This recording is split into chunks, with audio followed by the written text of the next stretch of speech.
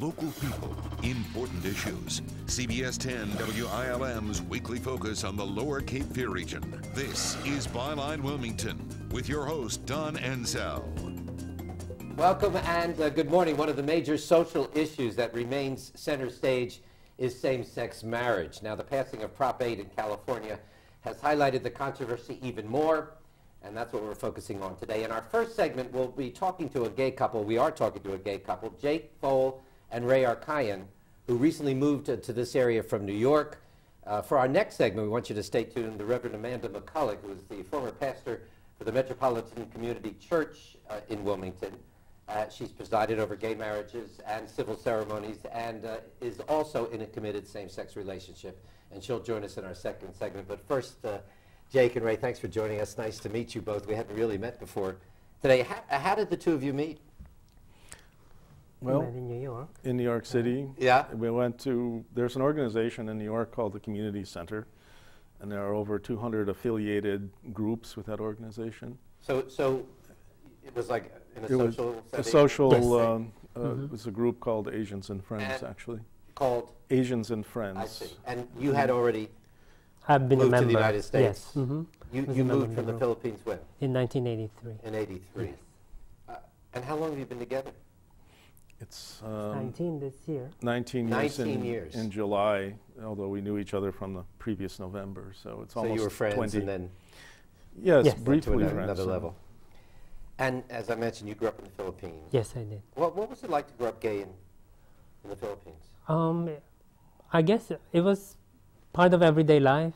Um, I've had 13 years of Jesuit education, and um, I must say they they did a good job in, you know, teaching Christianity and Catholicism, and they didn't teach an, anyone to hate anyone just because they're different.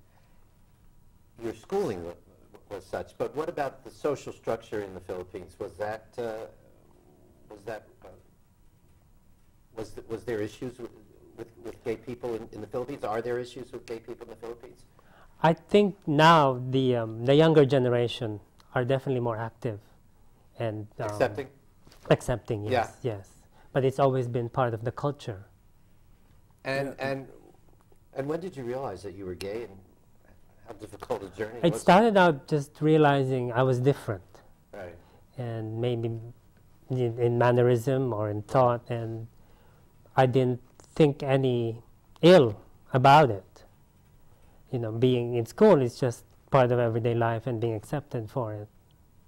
And so, as you moved into your own and realizing who you were, uh, you had no self-acceptance issues. No, No, no. you always felt comfortable in your own skin and- Yes, and and in, in the social structure. yes. Yeah. And, and Jake, how about you? you? You grew up. Uh, I think you told me Buffalo. I grew up in Buffalo. I also had a had a Catholic education through high school. Um, a little more complicated, I think. The Philippines is a bit more open, and they have a so created kind of a cultural uh, space for, for people who are gay. Uh, a little bit more than, um, say, Buffalo street culture, you know. Um, but I um, moved from there to to New York City when I was just 18. I went to college to NYU and, and went to school in New York. And it was a, a, the, the social structure was a lot more open.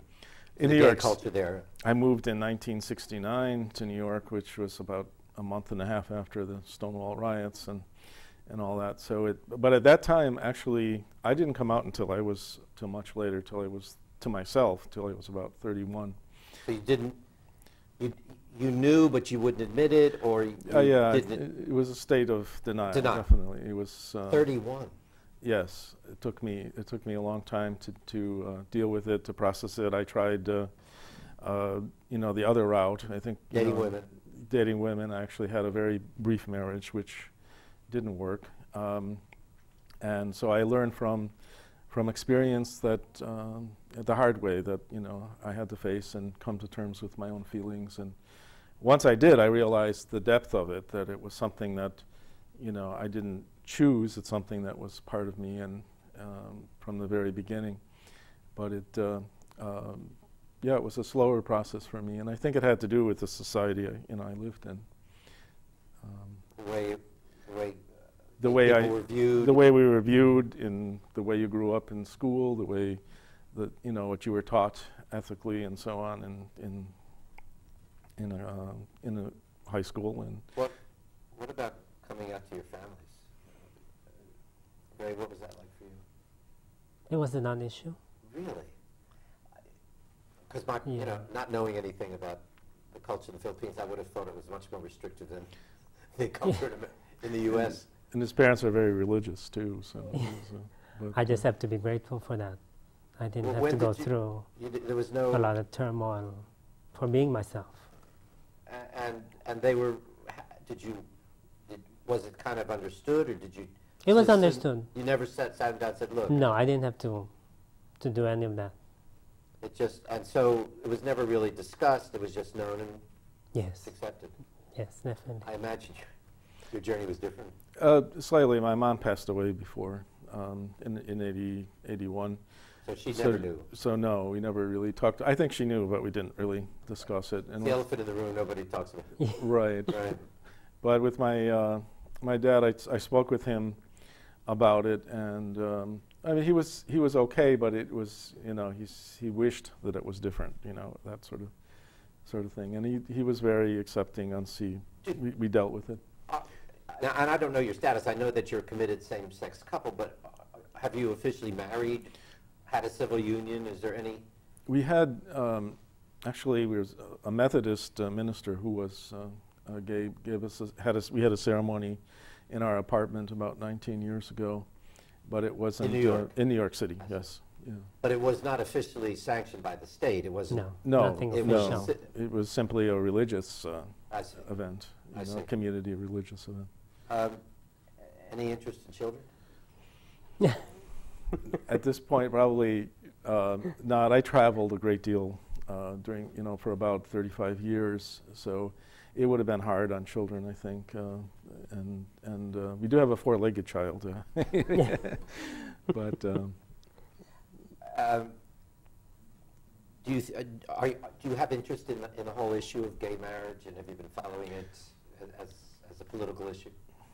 I think Definitely, yes. Yeah, yeah, we do. I think there are lots of, it's not only our own experience, but that of our friends and uh, the kinds of things that they've experienced as, as a result of, I think primarily the, f- the federal uh, benefits that people don't get, you know, the right of survivorship or immigration. I had a very good friend in New York who um, wanted to marry a, a partner from, um, from overseas, and he had made tremendous contributions to society. He was a professor. He founded nonprofits that helped developmentally disabled.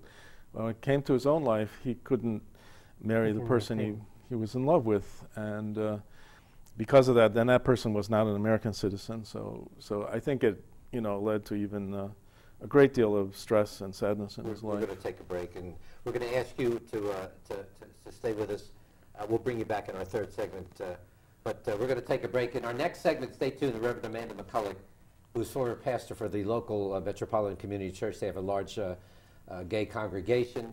Uh, she's presided over marriages and civil ceremonies, and she's also in a committed same-sex relationship. She'll join us next. Stay with us.